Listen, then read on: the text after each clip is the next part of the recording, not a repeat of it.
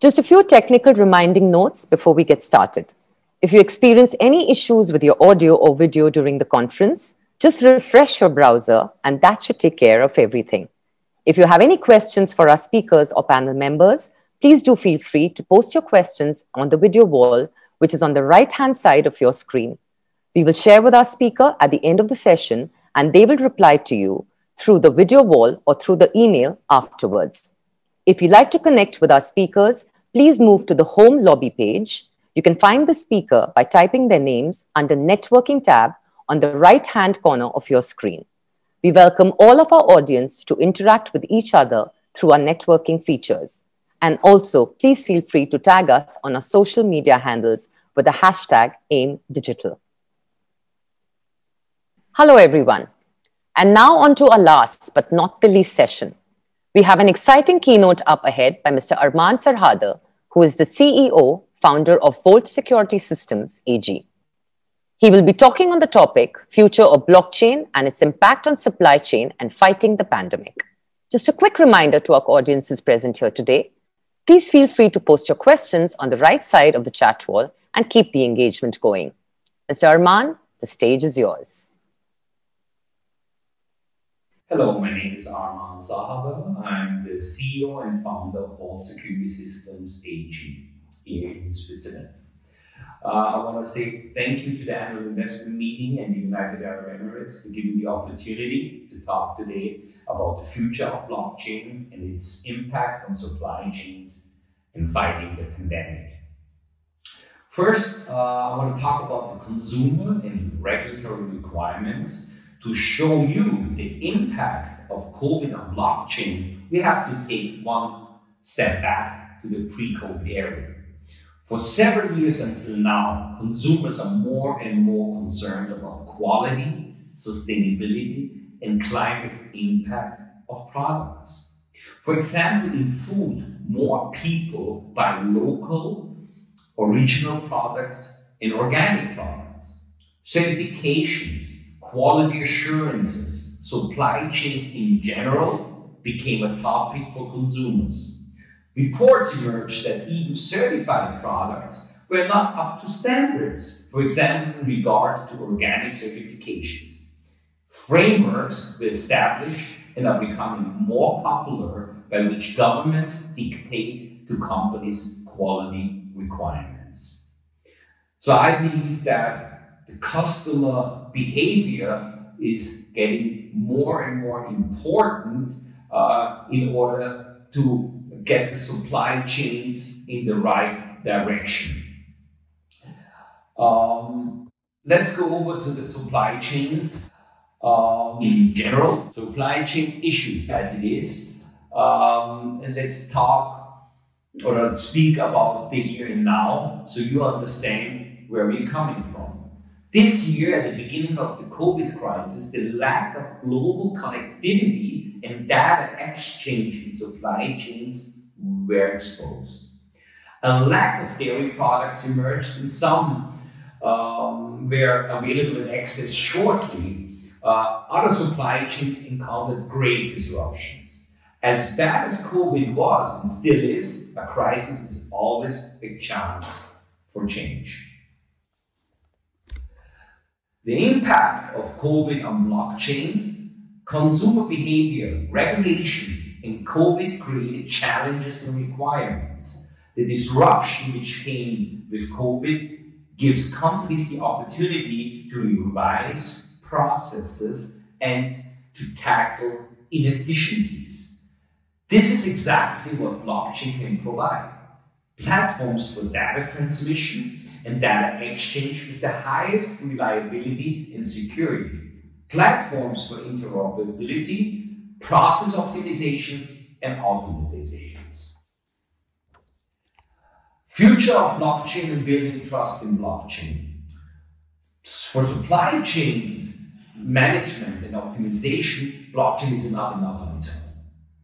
Blockchain can provide astonishing links, connections, integrations, blockchain can make different systems interoperable to work together. To use the full potential of blockchain, we need three things.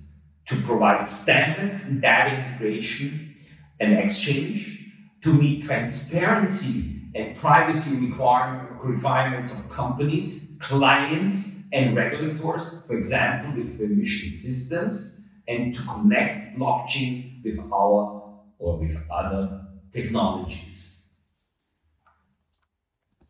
At Vault Security Systems, we are combining permission blockchains with technologies such as NFC, uh, RFID, QR codes, and GPS. Working with permission blockchain meets all requirements. Companies decide what and how much they want to disclose. Clients can rely on privacy and regulations can be met without compromising security.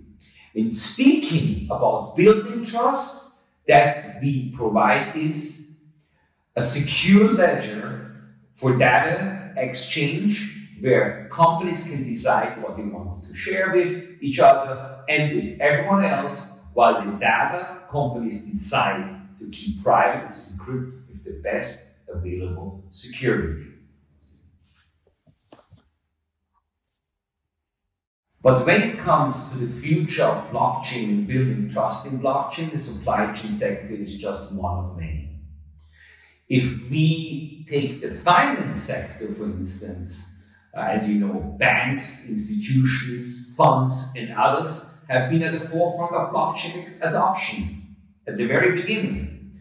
COVID will undoubtedly accelerate the implementation of blockchain technology and replacement of old processes.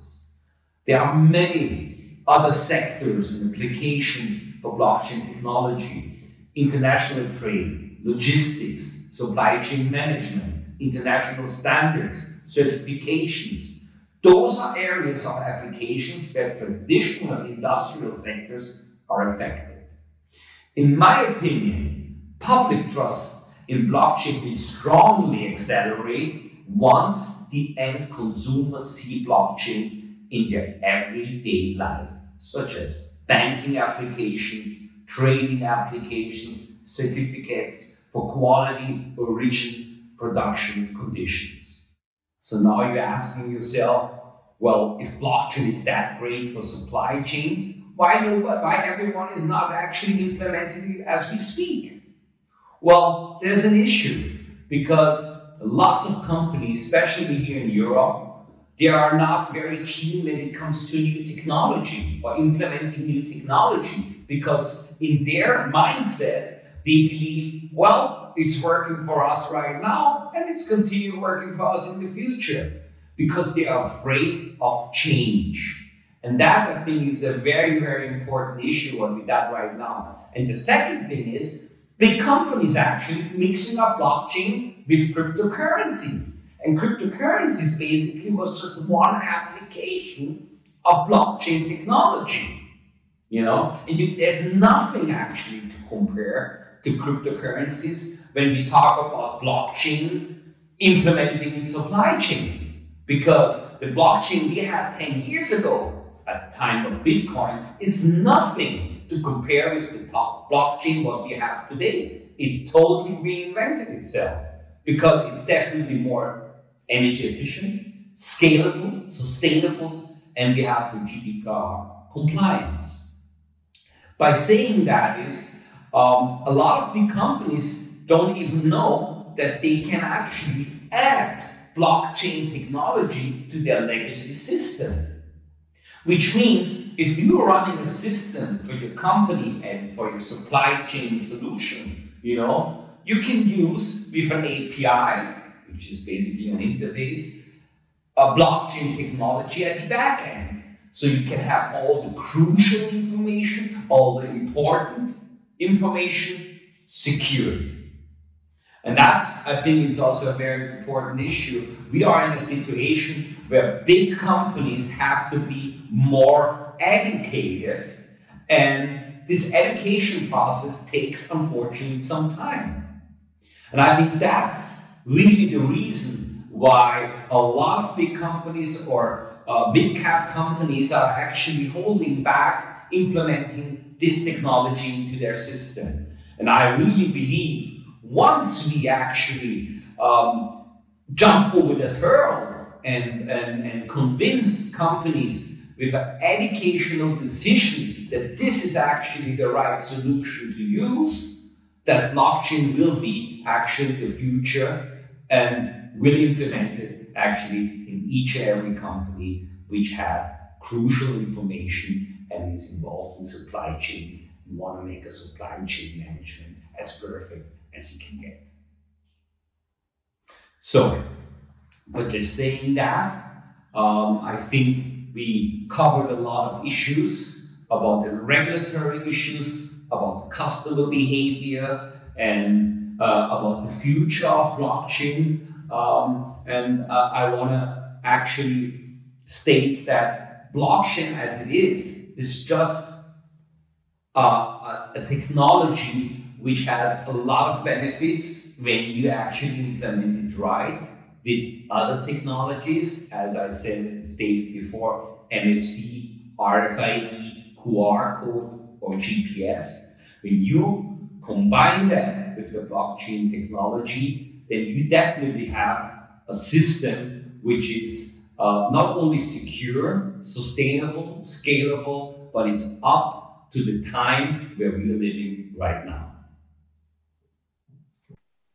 Thank you, Mr. Arman, for giving a great keynote and sharing your insights with us. To our audiences, if you'd like to connect with our speakers, please move to the home lobby page.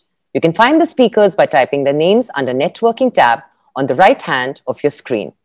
We welcome all of our audience to interact with each other on our chat wall. This may be an end to our Future Cities conference program. However, we do have a lot of activities lined up for you. We would encourage you to explore other activities that we have in store for you. Thank you all for tuning in and stay safe.